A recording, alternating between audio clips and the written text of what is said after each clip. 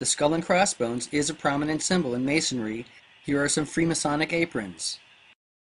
A skull and usually crossbones are also present in what is called the Chamber of Reflection, a room prepared for initiates undergoing the Masonic rite of the first degree in many orders. What few people know is that both Freemasons and pirates inherited the symbol from the same place, the Knights Templar. The true origin of the skull and crossbones is most likely the Chi Rho, an ancient symbol whose meaning is not morbid at all, but more akin to rebirth. The first Templar to fly the skull and crossbones, legend has it, was Roger II of Sicily, who harassed and plundered the coasts of Greece and northern Africa, and for whom the Jolly Roger is named. According to myth, Roger's father, King Roger I, copulated with the corpse of his wife Adelaide, Roger II's dead mother, and returned nine months later to find only a skull and crossbones. The original Templars were Normans, the blood product of Franks and Vikings. The order was formed during the First Crusade, and with special privileges granted by the Pope, they amassed great wealth and power, operated a vast banking network, and built hundreds of churches and castles across Europe and the Middle East. They also maintained a large fleet of ships and dominated the commerce of much of the world. The Templar Knights had a good run until 1307, when King Philip IV of France, who was deeply in debt to the order, lit on the idea of wiping out his debts by charging the Templars with heresy. And so, with the consent of the Pope, his men began arresting knights. Many were imprisoned and tortured, and some burned at the stake. Most, however, fled, mainly to Portugal and Spain, Scotland, and very likely Switzerland. How interesting that the home of the Bank for International Settlements, the central bank of central banks, may well have been a refuge of these medieval bankers. Author Ernesto Frers explored what happened to the Templar fleet, which disappeared from the shores of La Rochelle when the hammer of King Philip came down. He concludes, like others, that many Templars took to the sea after their banishment, thereafter adopting a life of piracy. These skull and bones decorate gravestones in a churchyard in Temple, Midlothian, an area granted to the Templars by David I of Scotland in the 12th century. Scotland is rich in Templar history, and some believe that the Knights helped Robert the Bruce win independence from England on the field of Bannockburn. So what do you think? Does the flag of Scotland really derive from the cross of St. Andrew, as legend has it? Or maybe from this? Author John J. Robinson explored what became of the Knights Templar in Britain after their banishment. Robinson makes a strong case that the Templars simply went underground and evolved into what would emerge centuries later as Freemasonry. Robinson is not alone in observing many connections between the two orders. Various Masonic rites belie Templar origins, and the Temple of Solomon, which served as the Templars' headquarters in Jerusalem, is a central feature of Freemasonry. Maybe the best clue that Crusader Knights gave rise to Freemasonry is that Andrew Michael Ramsay, a prominent Scottish Freemason during the 18th century, said so in a speech given at a French lodge. There was already a large Templar presence in Portugal and Spain when those fleeing from France arrived. There, the Templar Knights simply adopted different names. In Castile and Aragon, they joined existing orders such as the Order of Santiago. In Portugal, a new order was formed, the Knights of Christ. The heirs of these repackaged Templar Knights, who were expert mariners, contributed greatly to the dominance of Portugal and Spain during the era of world exploration. Henry the Navigator was in fact a Grand Master of the Knights of Christ, and Christopher Columbus, Vasco da Gama, and Ferdinand Magellan were all associated with these orders and flew the Templar Red Cross on their ships.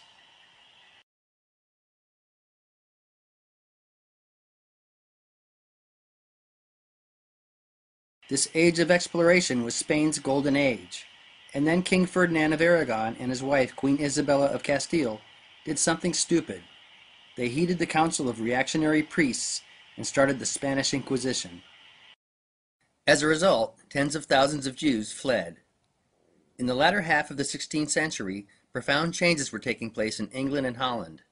Holland, known for religious tolerance, was a Spanish possession when the Inquisition began, but declared independence in 1581 and eventually kicked the Spanish out. Meanwhile, in England, the Anglican Church broke away from Rome under Queen Elizabeth. To wit, the Catholic Church was losing its authority in these countries, and that's where many Jews fleeing from Portugal and Spain went. And there's good reason to believe that at least some of the Templar remnant there went with them. Here's why. The religious convictions of the heirs and descendants of the Templar Knights, officially a heretic order, would have been suspect in the eyes of the Catholic Church. The Spanish Inquisition was not just an attack against Jews and Muslims. Any deviation from strict Catholic doctrine was grounds for persecution, and rumors of the Templars' Gnostic beliefs and occult practices had led to their banning. The Knights of the Spanish and Portuguese orders had developed a fruitful partnership with Jewish merchants in Spain and Portugal, who not only invested in voyages to the New World, Africa, and the Far East, but also played a role in marketing valuable goods brought back. Queen Isabella, King Ferdinand, and their successors expropriated property from the orders while the Inquisition raged to help pay for military entanglements, notably against the English and the Dutch. Maybe the best indication that the Templar remnant followed their fleeing Jewish partners is that as the Spanish Inquisition dragged on, Portuguese and Spanish dominance on the high seas went into decline, while that of England and Holland surged. This culminated in the establishment of the Dutch and British East India Companies, which both Freemasons and Jewish merchants played significant roles in. This notion of a Templar flight from Spain and Portugal to England and Holland is almost completely undocumented, but seems very likely, and, if accurate, is startling for it allows us to trace a continuous thread of conquering, plunder, commercial domination, and colonization. It begins with Rollo the Viking, who invades and conquers northern France in the 9th century. The Franks make peace with Rollo and his Vikings by granting them Normandy. A century later, Normans invade and conquer southern Italy and Sicily. Then in the 11th century, more Normans invade and conquer England. They are led by William the Conqueror, Rollo the Viking's direct descendant. A generation later, Normans and allies from all over Europe invade and conquer the Holy Land, at least for a time. This is when the Templar Knights are born. The Templars in turn dominate the commerce of the Christian world until they are banned and flee. From Portugal and Spain they begin exploring the world and establishing trade routes, but are chased out by the Catholic Church again, this time fleeing to Northern Europe and England. There, they and the local Templar remnant, who will later come out of the closet as Freemasons, set up the Dutch and British East India Companies with the help of Jewish merchants, and begin colonizing the world. The thread doesn't end there either, for several American families got in on the opium and slave trade rackets. Participating in the opium trade, we have, predominantly, the Astor, Cabot, and Russell families. John Jacob Astor we have already met. Remember Henry Cabot Lodge in Teddy Roosevelt's circle of warmongers? His mother was a Cabot. The Russells we have not yet met, but FDR's grandfather, Warren Delano, was manager of operations in China for the Russell family. On the slave trading side, two other Roosevelt patriarchs, Johann and Jacob, owned a slaving ship, the Expedition. The Browns were involved in the slave trade before they moved into banking, as was George Peabody, who ran the Georgetown slave market. If you think I'm stretching it by alluding to a connection between influential Americans like these and the conquering Normans of old, behold the roots of the following families. Peabody, Brown, Roosevelt, Astor, Taylor, Root, Russell, Cabot. Remember, Duke William of Normandy invaded and conquered England in 1066, winning at the Battle of Hastings. According to houseofnames.org. Peabody, Norman, granted lands by William the Conqueror for distinguished service at the Battle of Hastings in 1066. Brown, Norman, granted lands by William the Conqueror for distinguished service at the Battle of Hastings in 1066. Roosevelt, Norman, granted lands by William the Conqueror for distinguished service at the Battle of Hastings. Astor, Norman, granted lands by William the Conqueror for service at the Battle of Hastings. All of these families, and there are others, descend from a Norman ancestor who received lands in England from William the Conqueror after the Battle of Hastings. What are the chances?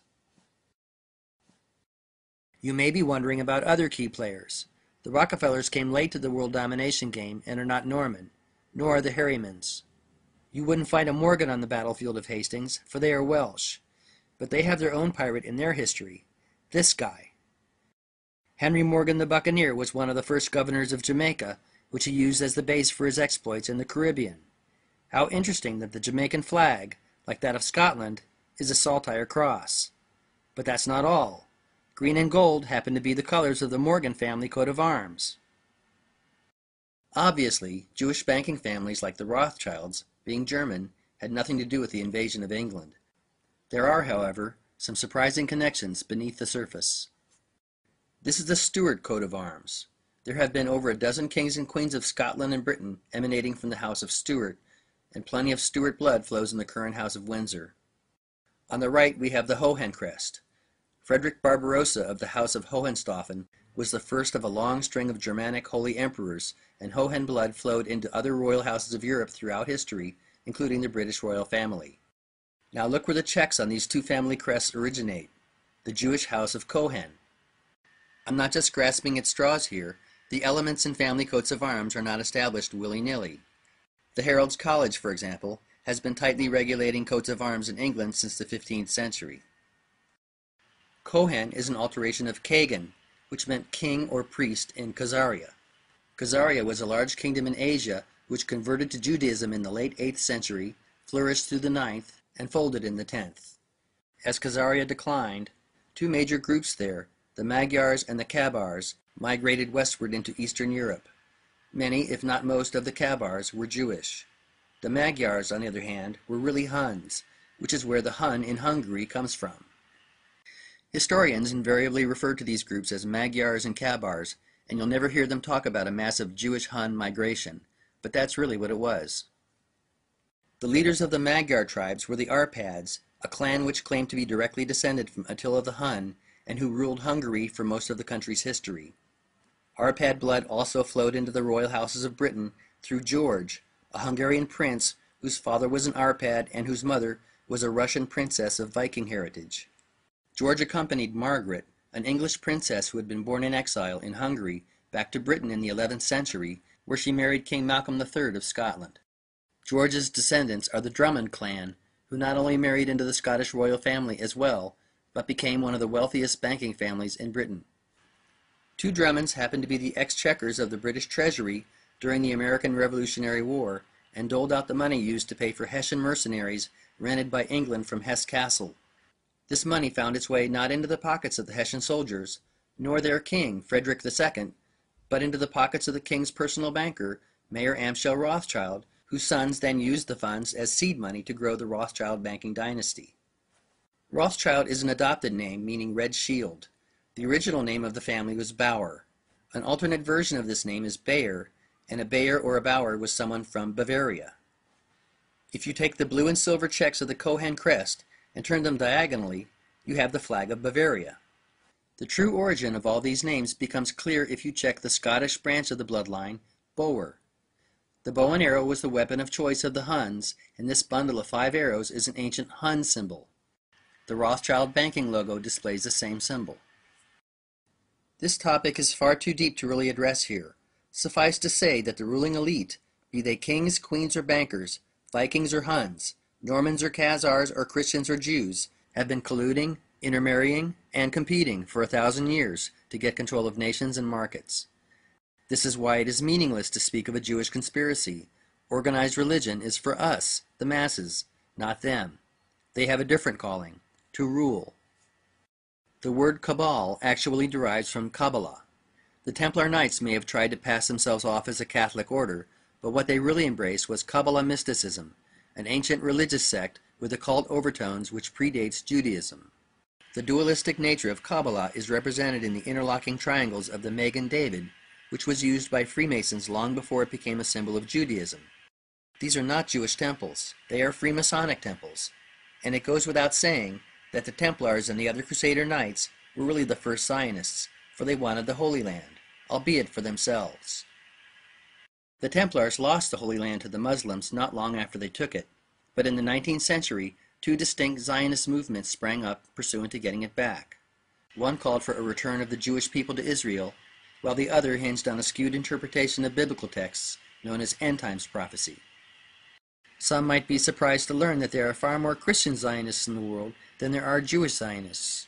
One of the first proponents of Christian Zionism and end times doctrine in Britain was, interestingly, a Drummond, while one of the movement's first leaders in America was Charles Taze Russell, whose followers went on to found the Jehovah's Witnesses. Yes, this is the same Russell family that made its fortune selling heroin to the Chinese. Samuel Russell, the head of the family opium business, we briefly met. One of the original Templars may well have been a Russell, for one of the nine knights who formed the order was a man known to history as Russell. This is very interesting because